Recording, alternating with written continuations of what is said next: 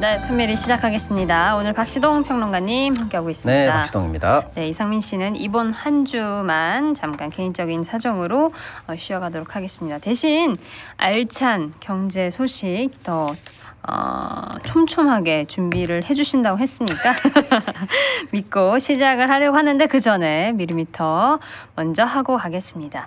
자, 김건희 여사 어, 베트남에서 선천성 얼굴기형 어린이를 안고 사진을 찍었죠. 앞서 브리핑 때도 사진을 보여드렸었는데 어, 왜 그랬을까? 여러분들 어떻게 생각하시는지 제가 드린 보기는 이겁니다.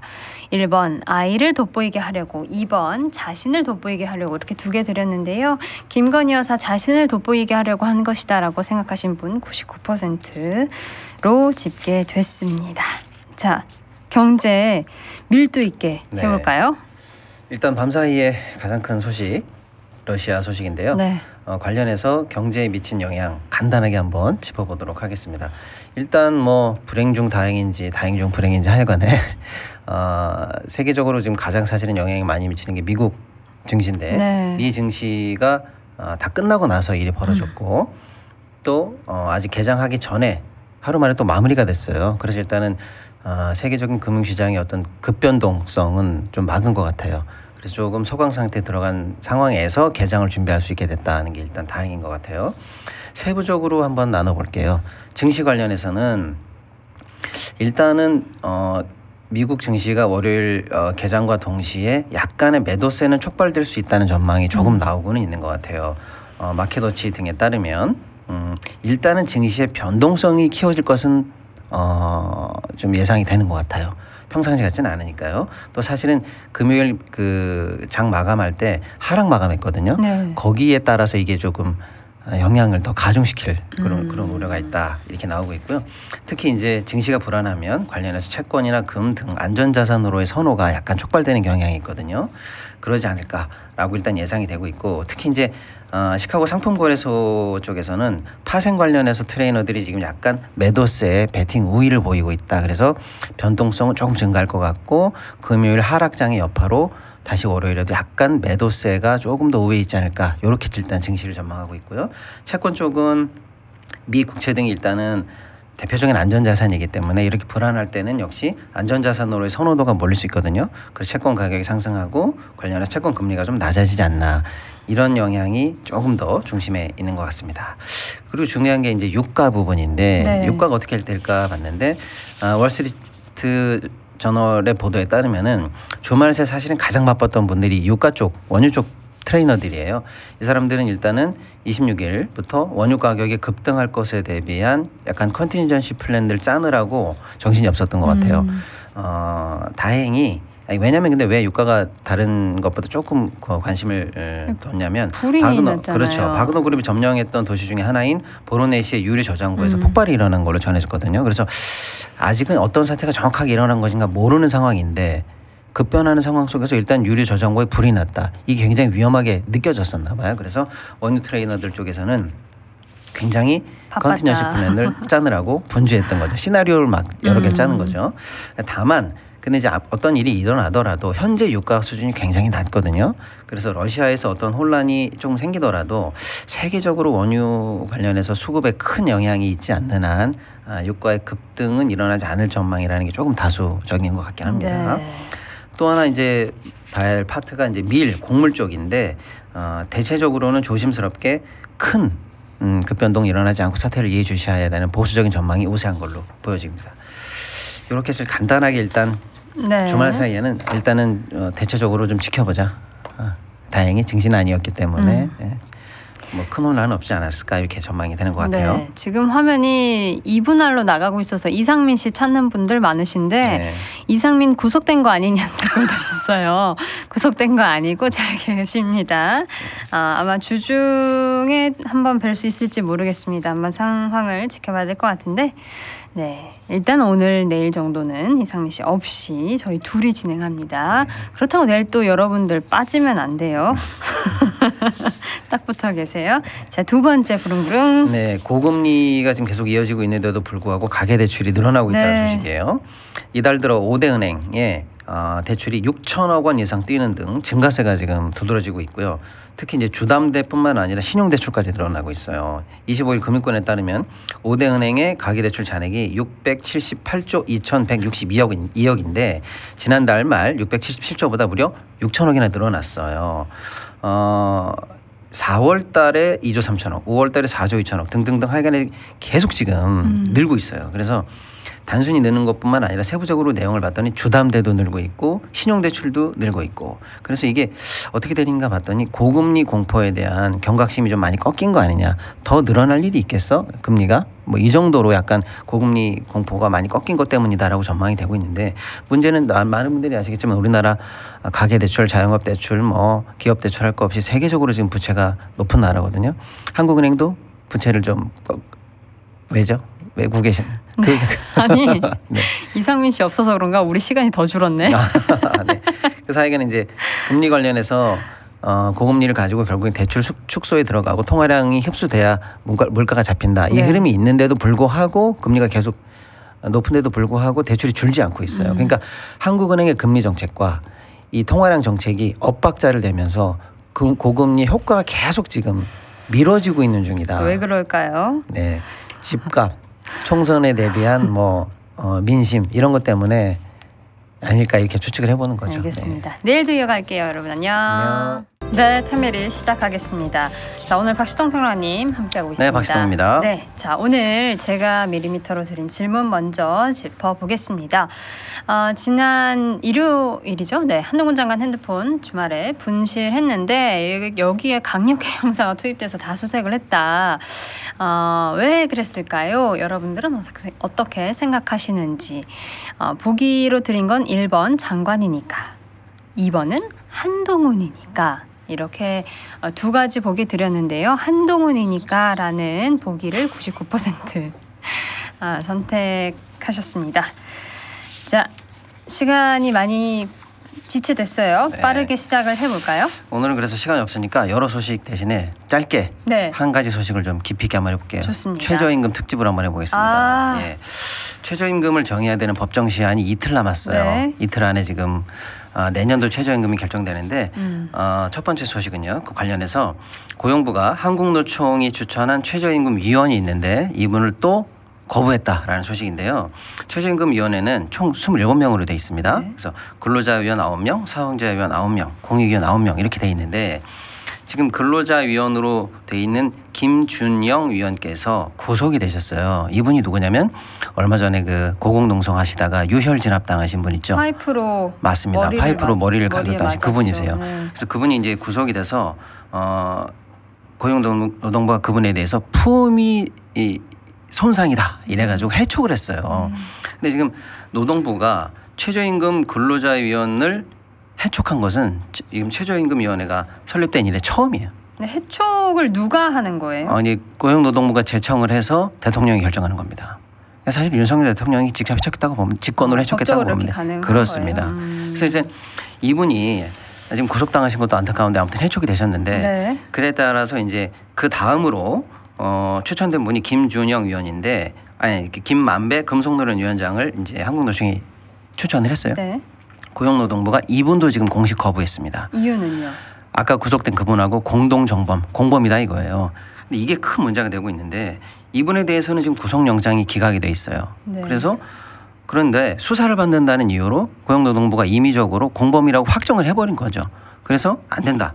이게 지금 왜 문제가 되냐면 어, 최저임금위원회는 노사가 대립하는 것을 전제로 하고 있습니다. 그래서 무기 평등, 정수 평등을 놓고 음. 이렇게 겨뤄봐라 이런 거거든요. 사실은 그 대칭 관계를 본질로 놓고 있는데 한쪽 사람이 한 명이 없는 상황에서 지금 심의가 진행된다는 큰 문제가 지금 생기는 거죠. 네. 아니 그것도 그런데 일단 네. 그보다 앞서서 우리 대표를 이 사람으로 하겠다라고 내세운 거에 대해서 이렇다 저렇다라고 얘기할 수 있는 게 법적으로 가능한 건가요? 맞습니다. 이게 사실은 그게 최저임금위원회에 근로자를 대표하는 사람을 보내는 거는 근로자가 스스로 자기네들의 대표를 보내는 거거든요. 근데 거기에 대해서 정부가 이 사람은 당신의 대표가 맞아 안 맞아 이런 식으로 개입하는 네. 양상이거든요. 독립성 침해죠. 음. 굉장히 비판을 많이 받고 있는 상황입니다. 근데 그럼에도 불구하고 오늘 오늘 최저임금위원회가 열려요. 네. 이제 심의가 이틀밖에 안 남았기 때문에 그러니까 사실은 한 명 없는 상황에서 지금 가고 있는 거죠. 음. 이게 지금 그 양쪽의 형평성에도 안 맞고 음. 아까 우리 기자님 말씀하신 것처럼 어 독립성을 지키는 데도 당연히 문제가 되는 상황이에요. 일단 이런 상황이고 네. 예. 두 네, 번, 최저임금과 관련해서 네. 제가 기사를 본 것 중에 네. 이제 최저임금이 만 원을 넘냐 안 넘냐 그 고비에 우리가 와 있는데 네. 아, 최저임금 만 원이 됐을 때는 일자리가 뭐 몇만 개 사라진다 이런 네. 기사들이 많더라고요. 그럼 그 얘기 먼저 해볼게요. 네. 오늘 아마 최저임금 이렇게 해가지고 검색을 한번 해보시면 제일 많이 도배돼 있는 기사가 최저임금이 이만 원으로 인상되면 일자리가 6만 9천 개 감소한다. 네. 그리고 어, 노동자 측의 요구처럼 1만 2,200원이 되면은 최대 47만 개 일자리가 감소한다는 기사가 지금 각종 포털과 언론을 도배하고 있습니다. 이거 맞는 얘기입니까? 그래서 엄청나게 공포심을 조장하고 있는 거죠. 이것만 일단 제가 잠깐 오늘 시간이 없으니까 해설해 드리면 이거는 정경련이 발표한 리포트인데요. 음. 어, 아까 말씀드린 것처럼 최저 어, 임금위원회에는 근로자 대표 9명이 있고 사용자 대표 9명이 있는데 네. 사용자 대표 9명은 경총과 정경련이 이 보내게 돼 있어요. 근데 경총은 직접 어, 거기 현장에 참여해서 어, 최저임금 인상 요인이 없다 이렇게 강력하게 주장을 하고 있고 하나도 없답니까? 하나도 없다고 얘기합니다. 올해 그러니까 경총의 입장은 올해 최저임금을 올려야 될 이유가 단 하나도 없다가 물가가 이렇게 올랐는데요. 일단 그렇습니다. 살기가 이렇게 힘든데. 아, 단 하나도 없다는 거예요. 올려야 될 어. 이유가. 그리고 이제 전경련은 직접 주장을 하는 대신 이 리포트를 항상 냅니다. 그래서 이걸로 기사를 도배하는 게 전경련의 역할이에요. 음. 측면 지원하고 있죠. 그럼 이 리포트가 괜찮은 리포트인가 네. 제가 봤어요. 근데 전혀 그렇지가 않고요. 이렇게 보시면 돼요. 이 리포트는 매년 똑같이 나옵니다. 매년 똑같이 나오고 제목과 수치만 아니 수치만 바꿔서 매년 똑같이 나오는 겁니다. 작년 재작년과 똑같습니다. 즉 제목 갈이, 표지 갈이, 복붙 리포트다 이렇게 보시면 되고요. 이, 이 리포트를 쓰신 그 교수님은 사실 전경련이나 한경연의 연구위원 출신이세요. 그러니까 어떻게 보면 좀 어, 저 친소 관계가 있는 객관성을 우리가 담보- 예. 담보하기가 그리고 어려울 로프- 것 같다. 리포트의 내용이 사실상 추정이 대부분입니다. 음. 최저임금이 올라가면 일자리 감소할 것이다. 근데 사실은 그게 입증된 데이터로 어, 돼 있는 건 아니고요. 실증 네. 데이터 비교 데이터가 있는 건 아니고요. 추정에 불과하고요. 특히 논리적 논리적 오류가 있는 게 뭐냐면 최저임금이 오르면 그 한계 상황에 부딪히는 기업이 근로 형태를 바꿀 수도 있고 음. 근로 시간을 이어가야 조정할 수도 같아요. 있는데 무조건 일자리가 떨어진다는 오류를 범하고. 있습니다. 판매를 시작하겠습니다. 오늘 두 분과 함께합니다. 박시동 평론가님. 네, 박시동입니다. 물론 그리고 안녕하십니까 오랜만입니다 박근입니다 어디서 뭐 하셨어요? 몸이 많이 허약합니다 부실해요 아 그래서 어떻게 뭐 충전을 어떻게 하셨어요? 아, 뭐 저기 뉴스 공장 봤습니다 아 그래요? 예 좋습니다. 아니 무슨 내가 구속 수사를 받는다고 그러니까 그딴 걱정 댓글 많이 적는데 하셨어요. 좋아요나 좀 눌러 주십시오 어디 어디 좋아요? 뉴스 공장 좋아요 어 그래요. 네. 좋아요도 안 누르는 것들이 압수수색 걱정을 하고 있어 네 들으셨죠? 좋아요, 구독, 알림 설정 하라는 오늘 박근님이신가요? 네네. 네네 박근님의 말씀이 보다시피. 있었습니다. 예. 자 그리고 넘어가기 전에 미리미터부터 할게요. 6월 모의고사 국어 어, 편익한 수준이었다 이런 분석들이 많은데 윤석열 대통령 왜 그렇게 비문학이라는 것까지 언급을 하면서 별도로 지시를 했는지 여러분들은 왜 그랬을 거라고 생각하시는지 여쭤봤습니다. 제가 드린 보기 1번은 킬러 문항 민주당 때문이라고 주장하려고 하는 거다. 이거에 대해선 71%가 응답을 해주셨고 그리고 보기 2번 자신에겐 세상 만사가 킬러 문항이다 29%가 이렇게 선택을 해주셨습니다. 자 오늘 두 분과 함께하는 오랜만에 아, 해볼 텐데 첫 번째부터 시동 네. 걸어보겠습니다. 자영업자 어, 관련한 연체율이 지금 심상치 않다 하는 소식 먼저 전해드려야겠는데요.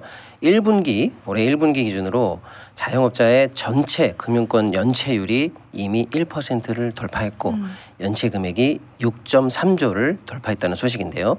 이게 코로나 직전 수준을 넘어서 지금 8년 만에 최고 수준입니다. 위험한 상황으로 가고 있는 거예요. 특히 이제 중저소득층 자영업자 연체율은 2% 그러니까 두 배를 육박하고 있는 건데요. 1분기 기준으로 자영업자의 전체 금융기관 대출 잔액은 1,033조입니다. 자영업자 대출이 1,000조가 넘었다는 얘기예요. 아, 이것도 사상 최대 기록을 현재 갈아치운 상황입니다. 문제는 이 연체율의 상승 속도가 지금 눈에 띄게 빨라지고 있다는 거예요. 음, 어 그리고 자영업자분들의 이제 소득을 한번 나눠봤어요. 그랬더니 저소득층 하위 30%죠. 이분들은 지금 연체율이 더 높아요. 올해 1분기 1.66%입니다. 평균이 아까 1이었는데요. 더 높죠. 그러니까 소득이 낮은 분일수록 지금 연체가 더 심각해지고 있는 상황이에요. 그리고 이금융권 관련해서 저- 자영업자 연체율이 더 높고요. 1금융에서 이제 밀려나신 분들이 이금융으로 많이 가잖아요. 거기 연체율이 당연히 더 높겠죠. 취약할수록 더 힘들다. 그렇습니다. 그리고 자영업자분들의 71.3%가 현재 다중채무자라는 거예요. 다중채무. 세 군데 이상의 대출을 받고 어. 계신 분인데 쉽게 말하면 지금 여러 군데 대출을 가지고 빚을 돌려먹게 하고. 계신 분들이 70% 정도 된다는 거거든요. 아주 심각한 상황이에요. 그래서 이거에 대해서 한국은행은 올해 말에 잘못해서 경기가 더 떨어지고 더 안 좋아지면 어, 이 대출의 연체 위험률이 3.1%까지 높아질 가능성이 있고 특히 취약차주 아까 말씀드린 저소득층이고 다중채무를 네. 어, 지고 계신 분들은 연말에 18.5%까지 대출 위험도가 높아질 거라는 경고를 했어요. 아주 심각한 상황입니다. 지금 자영업자분들의 생활이 이렇게 안 좋은데 어떤 대책이 필요할까요? 연체율 돌파 이거 정말 심각합니다. 그렇죠. 이럴수록 정부가 가만히 어, 두고 보면 되겠습니까? 이거는 금융체 마인드로 해결이 가능합니다. 금융채 금융채. 마인드. 문좀 띄워주십시오. 네. 금. 금 금융당국은 금융당국을 국민들이 걱정해서 되겠습니까? 그렇죠. 네. 융. 융통성 있게 정부가 대책을 마련해야 됩니다. 맞습니다. 채. 채. 최경환 화이팅 네. 출마한다고 해서 아, 네. 또 응원을 해주셨네요. 그렇습니다. 꼼꼼하게 네. 또 챙겨보고. 초이노믹스 초이노믹스. 네. 두 번째 소식 가볼까요? 네. 삼성이 엘리엇의 비밀 합의에 따라서 지난해 724억을 지급했다는 소식인데요. 어, 이 사실이 이제 처음 확인됐는데 2015년 5년이죠. 우리 박근님이 대통령이셨을 때 삼성 물산 지분 7.12%를 보유했거든요. 엘리엇이. 근데 이때 이제 삼성물산과 제일모직 합병이 있었잖아요. 이때 자신들이 이제 합병을 반대하면서 법원에다가 소, 소송을 냈었어요. 네. 근데 지금 소송이 갑자기 취하되면서 어 당시에는 엘리엇이 백기투항한 거 아니냐라고 했는데 알고 봤더니 이런 비밀 합의가 있었던 게 지금 음. 드러났어요. 어떻게 드러났나 봤더니 얼마 전에 저희가 소개해드렸지만 우리 법무부하고 엘리엇이 또 국제 소송 중이었거든요. 네. ISDS. 근데 이때 우리 법무부가 낸 얘기가 뭐냐? 야, 너 왜 네 손해 본 거 우리한테 물어달라고 하니? 혹시 너 삼성한테 비밀 합의로 뭐 손해배상금 받은 거 있잖아. 음. 그거 네가 우리한테 주장하는 손해에서 빼야지라고 우리가 주장을 했던 거예요. 그러면서 드러났거든요. 자 이게 지금 문제가 어, 심각해질 것으로 보이는데 왜냐하면 형평성 문제가 일어나는데 삼성물산 주식을 갖고 있었던 일반 주주들은 이런 비밀 합의가 없었죠. 그러니까 낮은 가격으로 매수당한 거거든요. 그러니까 이분들 입장에서는 어 나는 왜 그 손해 안 물어줘?라는 지금 형평성 문제가 생길 가능성이 있고요. 또 하나는 삼성물산이 공시 의무를 위반했을 가능성이 지금 제기, 제기가 되고 있는데 이런 중요한 소송 중- 중요한 합의 그리고 이런 거액의 어떤 합의금이 지출이 됐으면 일반 주주들에게 이게 공시가 됐어야. 되는데 공시를 하지 않았거든요.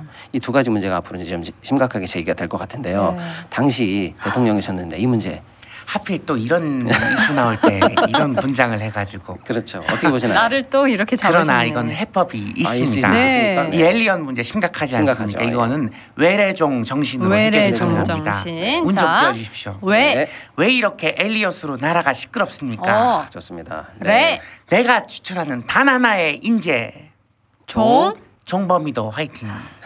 안종범 오늘 컨셉이 이렇게 응원과 지지 그렇습니다. 보죠. 우리 세력을 규합해야 됩니다. 아, 네. 종범이 하나씩 모으시려고. 그렇습니다. 아, 알겠습니다. 네, 그 응원을 응원합니다.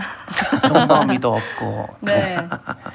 네, 좋습니다. 네, 자, 다음 그리고 소식인데요. 세 번째. 예, 한국은행에 따르면 지난 4월 우리 한국이 해외에서 벌어들인 음향, 영상 및 관련 서비스 수입이 2억 2,270만 달러로 지난해 같은 달보다 20%가 줄었습니다. 음. 반대로 우리가 외국 콘텐츠를 사들이면서 지급한 관련 비용은 어, 8,920만 달러로 전년보다 243%가 늘었어요. 그러니까 우리가 지급액이 늘고 어, 수입 저 우리가 아무튼 흑- 흑자에서 한류 관련해서 적자로 돌아섰다. 한류 수출이 잘 안 되고 있다. 안 되고 있다 이런 얘기인데 이게 왜 그럴까라고 했을 때 K-팝과 드라마, 영화, 예능 관련해서 한류 콘텐츠가 해외에서 벌어들인 수입이 감소했다는 것은 혹시 중국 관련해서 관계 경색이 영향을 미치는 거 아닌가라는 우려가 나오고 있는 중입니다. 네.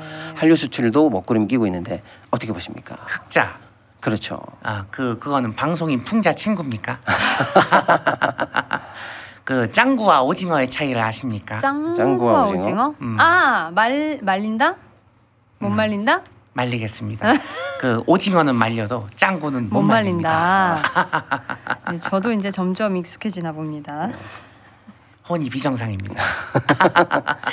네, 그리고 또 아, 어제부터 계속 나왔는데 라면값, 뭐 밀가루값 네. 말이 많습니다. 농심이라든지 뭐 가격을 내린다고 하던데요. 그러니까 사실은 저 지난주인가요 추경호 총리가 얘기를 했었죠 라면 값을 내려라 이렇게 네. 콕 집어서 얘기를 했어요 그랬더니 라면 업계가 뭐라고 반발을 했냐면 아니 밀가루 값이 내린, 내려서 라면 값을 내리라는 말은 자기네들의 입장에서는 억울하다 왜냐 우리가 사오는 밀가루 값은 어 똑같다 우리가 음. 밀가루 수입하는 사람들 아니다 음. 이렇게 반발했었거든요 그러자 이제 정부가 나서서 그래 그럼 우리가 밀가루 값을 잡아야지라고 네. 해서 이번에는 밀가루 가격을 잡겠다고 제분업계를 압박하고 있다는 소식입니다. 아, 농림부가 26일 이제 제분업계 일곱 곳을 불러서 간담회를 열어서 밀 수입 가격이 하락했으니까 밀가루 가격을 내려달라고 적극 요청을 했어요. 그게 제분업계도 당연히 반발을 하겠죠. 아, 밀 수입 가격하고 현장에서 움직이는 가격에 시차가 있고 자기네들도 여러 다른 비용이 있는데 이렇게 콕 찍어서 압박한다고 될 일이냐 이런 식으로 반발하고 있는 모양이에요. 제가 이제 묻고 싶은 것은 이런 식으로 콕 찍어서 압박하는 것 말고는 도대체 무슨 대책이 있는가? 너무 대책이 원시적이고 일차원적이다. 물가 대책 정말 이 정도 실력밖에 안 됩니까?라고 묻고 싶은데 어떻게 보십니까? 모자가 모여 있으면 밀짚 모자. 재밌네. 재밌어. 네, 알겠습니다. 내일도 이어갈게요. 안녕. 네, 텐미리 시작하겠습니다. 오늘 두 분 함께합니다. 박시동 평론가님, 네, 박시동입니다. 그리고 졸지 마세요. 어 여보 어 아침 특바람부터 아, 자유를 지켜야 됩니다 자유. 자유 어. 그, 자유 아니 뭐라고 써? 무슨 술이에요 그거는? 참된 이슬 참된 이술. 아 그렇군요. 알겠습니다. 자, 아니 그렇게 안주는 아침부터 없나? 아니 너무 대놓고 이렇게 술을 드시면 어떡합니까? 대놓고 먹는 거야 다 풀어놓고 먹는 거면 겸손은 힘들다면서 이런 모습 지켜보는 게 정말 힘드네요. 아, 나도 네. 힘들어 이 아침 대바람부터 무슨 상황인지 참 아니 아무튼 조개탕 같은 거 없어 저게 조개탕. 이런 거 없습니다. 네. 술 깨시고요. 자, 시작해 보도록 하겠습니다. 참된 이술. 자, 오늘 미리미터 먼저 해보자면 오늘 제가 드린 질문은 이겁니다. 윤석열 대통령이 어제 어, 사실상 문재인 정부를 반국가 세력이다라면서 계속 강조를 하면서 반복 언급했습니다. 왜 그랬을지 여러분들은 어떻게 생각하시는지 골라주세요 라고 드린 보기 1번은 진짜로 반국가 세력이라고 생각하는 것 같다. 2번은 아무리 해도 넘어설 수가 없는 것 같다. 이렇게 두 가지 드렸는데 아무래도 어, 99% 아무리 해도 넘어설 수가 없어서 그런 것이 아니냐라고 의견을 모아 주셨습니다. 이 정도. 저 여론조사도 네. 저 정상화를 해야 됩니다 정상화요. 저 과학적으로 믿을 수 있는 여론 조사예요 어, 대통령 저거는 저저 이권 카르텔이 결탁된 네. 좌파들이 만든 겁니다. 아 저거는. 그래요. 자유의 천병의 전사로서 네. 용납이 안 된다고. 어. 어, 미리미터를 그 정도로 알아서? 분석을 해주시다니. 네, 최고. 어, 그 대통령의 컨디션 정상화는 언제쯤 될까요? 나는 지금 제정신이야. 아 그러세요. 취하지 않았어요. 어, 네, 알겠습니다. 자, 시동 걸어보겠습니다. 첫 번째. 네. 안 좋은 소식부터 시작해야 될 것 같은데요. 우리나라의 예, 교역 조건이 26개월 연속으로 악화됐다는 소식이에요. 네. 한국은행이 28일 공개한 2023년 5월 무역 지수 및 교역 조건을 보면 지난달 우리나라의 순상품 교역 조건 지수가 83.29로 어, 조사가 됐는데 이게 1년 전에 비해서 2.8% 내린 것으로 집계가 됐고요. 음. 이게 26개월 연속 하락세입니다. 말이 좀 어렵죠. 순상품 교역 조건 지수는 한 단위 수출 상품으로 수입 가능한 상품의 비율을 지수화한 거다. 뭐 좀 어려운데 쉽게 말하면 100 밑으로 가면 갈수록 우리나라가 수출보다 어, 수입이 더 세지고 네. 100 위로 올라가면 수출이 더 좋아졌다 이렇게 보시면 되는데 지금 이게 100을 밑도는 거를 넘어서서 점점 안 좋아지고 있고 26개월째 감소하고 있다는 얘긴데요. 이렇게 우리나라의 교육 조건이 나빠진 것은 수출 가격, 수출 단가 전부 다 나빠진 걸로 다 조사가 됐는데 특히 5월에 수출 금액 지수가 많이 빠졌는데요. 전년보다 14.5%가 빠졌어요. 네. 그러니까 수출의 금액이 빠졌는데 8개월 연속 하락인데 특히 뭐 아시겠지만 반도체 등등등 영향 때문이고요. 또 수출 물량도 0.1% 하락 이렇게 하고 있습니다. 그래서 결국 우리나라의 수출이 안 좋다는 얘기예요. 수출 가격도 단가도 다 안 좋은데 음. 지금 이렇게 술 드실 상황이 아닌 것 같은데 이 수출 교육 조건 어떻게 개선하시겠습니까, 어때요? 대통령님? 아이유 같지 않아요? 모델 해도 되겠는데. 그 이거는 그렇죠, 수출. 킬러 문항이 곳곳에 숨어 있는 겁니다. 아, 수출의 이거 킬러 어렵지 문항이. 않아요. 네. 이거는 팜트리 마인드, 이른바 그 아, 우리 그 야자수 마인드라고 하나 네. 그런 걸로 가면 됩니다. 운 좀 띄워주세요. 네. 야. 야. 야, 뭔 일을 이렇게 하냐? 자. 자유의 정신을 드높여가지고 네. 수. 수. 수사 빠르게 가. 수사가. 하느니 문제가 있는 겁니다. 왜 그렇게 그 책저했어? 아 조사가 잘못됐다. 어? 뭐 하고 있었니 이 말이야? 수출도 수사로 다 해결하시겠다. 하면 됩니다. 알겠습니다. 조사하고 털면 다 나와요. 어. 근데 다 세금들 다 내셨지 그. 어제 봤지? 네. 나참그 수사 다 털면 나옵니까? 세금도 네. 꼬박꼬박 내고 네. 아니 조세 포탈은 그 범죄예요. 포탈이 요즘 검색에 잘 안 되지 않습니까? 그렇죠. 네이버 다음 다 포탈 조세 포탈. 근데 저 모습이 실화일 것 같아서 아, 걱정됩니다. 예. 수출도 수사로 뚫어라. 아, 역시 이슬이야 아침에는. 네. 수출 못하면 기업들도 이제 구속되는 겁니까? 다 구속시켜야지. 라면값 내렸잖아. 네. 내 전지전능하지 않습니까? 전지전능하지. 올마이티. 우리 와이프는 구약을 다 외워요. 알겠습니다. 자, 두 번째 시도. 두 번째도 역시 그럼 해결하실 수 있을 거라고 믿고 한번 얘기해 보겠습니다. 네. 올해 상반기 무역 적자 통계가 결국 나왔는데요. 수출 수입이 모두 감소하면서 무역 적자가 290억 달러를 기록했습니다. 올 상반기입니다. 네. 예, 하반기도 지금 적자가 예상되는 가운데 이게 어떤 수치냐면요. 작년이 사실상 우리나라 무역 수지가 사상 최악이었거든요. 음, 그게 472억 불이었어요. 그런데 지금 올해 반밖에 안 지났는데 작년도에 61%를 넘어서고 있다 이런 단순 상황입니다. 계산하면 뛰어넘은 거네요, 작년을. 작년이 최악인데 최악의 밑이 없을 줄 알았더니 지금 어. 바닥을 뚫고 지하실을 내려가고 있는 상황이에요. 가장 안 좋은 원인은 물론 뭐 수출이죠. 음. 또 그런데 수출이 얼마나 떨어졌나 봤더니 세계적으로 보면 우리가 세계 수출 순위가 그 전에 6위까지 올라갔었는데요. 네. 지금 8위로 2단계 하락하고 있습니다. IT 수출 부진이 역시 주 원인이 되겠습니다. 그럼에도 불구하고 이제 무역화폐라든지 정부는 하반기에는 좋아질 거다라는 그 상저 하고론을 계속 얘기하고 있는데요. 한번 여쭤보겠습니다. 지금 작년보다도 아니 적자- IT가 그렇게 경제가 어려운 나라입니까? 음, 네. 아, 제가 뭐 잘 몰라서 여쭤보는 겁니다.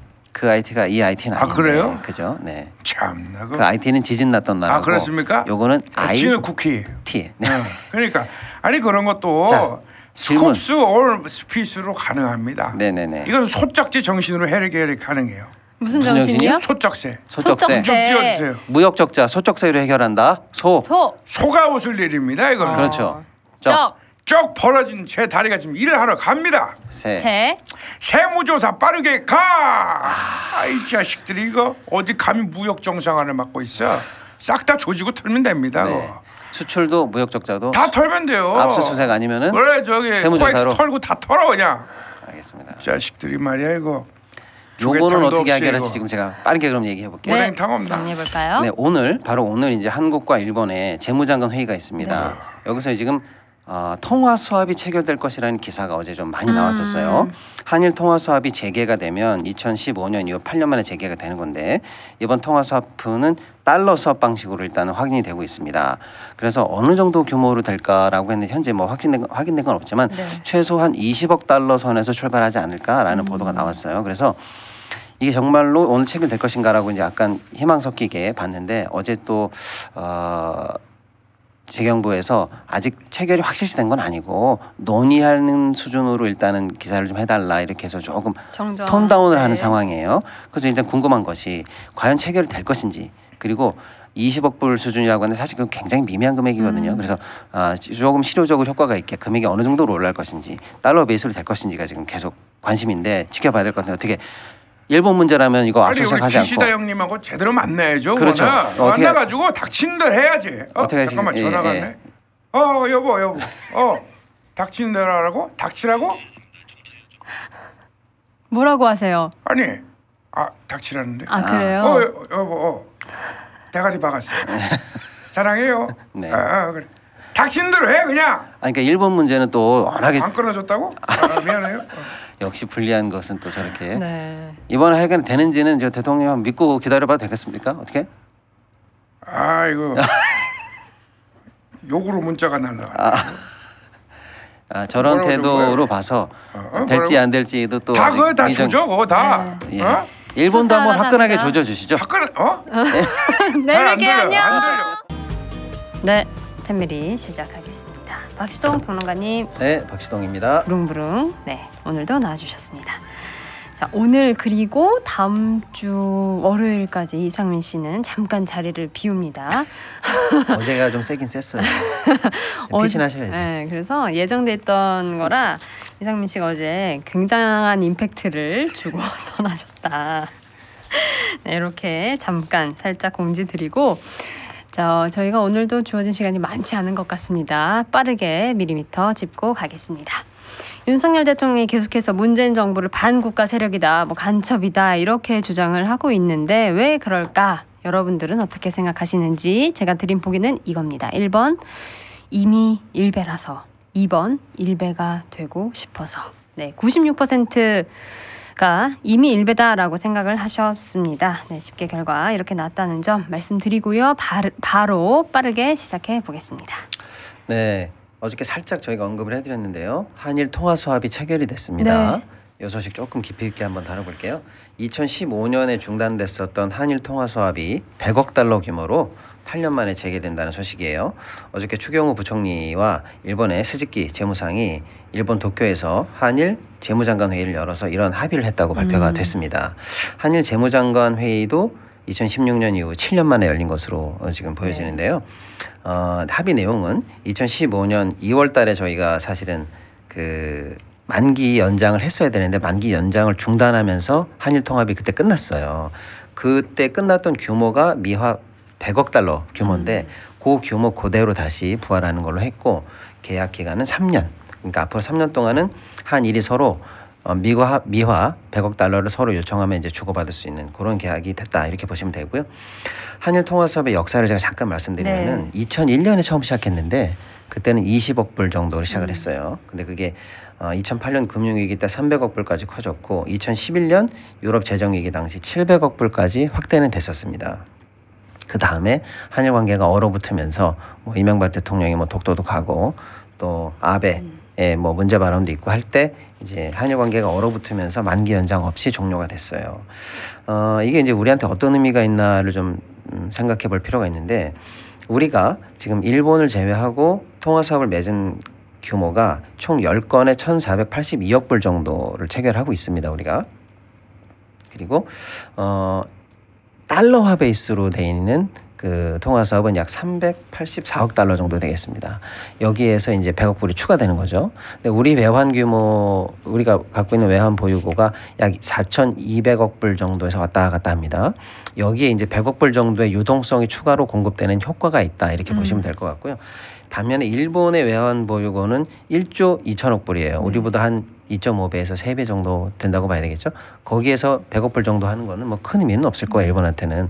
그래서 항상 일본이 우리가 한일 통화 사업이 체결되고 나면은 한국이 요청을 해서 자기네들이 약간 상석에서 내가 좀 봐줬어 이런 식으로 언론 플레이를 항상 합니다. 그리고 실제로 그런 마인드를 가지고 있어요 일본이. 그러니까 지금 우리가 일본한테 약간 저자세로 굽혀가면서 제발 좀 해주세요라고 하는 상황은 아니거든요. 지금 우리 상황이 그런데도 어, 늘 역사적으로 그래 왔기 때문에 일본은 자기네들이 한국의 요청을 받아서 조금 갈증을 풀어줬다 이런 식의 생각을 하고 있거든요. 근데 우리는 지금 그런 상황이 아니죠. 음. 그럼 어떻게 봐야 될까요? 그럴 만한 이유 그 대가가 대가가, 있을 것이다. 있을 것이다 라고 저는 조심스럽게 추론하는데 너희들 급한 거 우리가 해줬으니까 다음에 우리가 필요한 거 뭔가 이렇게 2차 요구가 있거나 네. 또는 이미 지금 우리가 오염수 관련해서 여러 가지 일본의 요구를 많이 들어주고 있지 않습니까? 그런 거에 대한 연장선에서 봐야 되지 않나 이런 게 이제 저의 조심스러운 거래가 분석입니다. 성립되기 힘든 수준에 이 저기 덩어리 네. 차이가 많이 나지 않습니까? 네, 그리고 그런 상황이기 때문에 큰 의미를 둘 상황은 아니고 상징적으로 네. 어, 그래도 100억 불 정도의 유동성 공급 효과 정도만 이렇게 두면 되는데 음. 지금 언론 기사를 보면 마치 한일 관계가 제자리로 왔다. 네. 통화 수업 관련해서 그러니까요. 금융이 제자리로 왔다는 식으로 안전판 8년 만에 제자리 뭐 제자리 정상화 뭐 어? 이런 식의 그 복원되고 있다. 복원 그래서 과대 평가하는 것들이 있는데요. 그런 수준은 아니다. 음. 오히려 그 이면에 일본에게 우리가 어, 어떤 식으로든 대가가 다음에 따를 수 있다. 이런 걸 조심해야 된다. 저는 그런 얘기를 드리고 싶네요. 긍정적으로만 해석하기에는 네.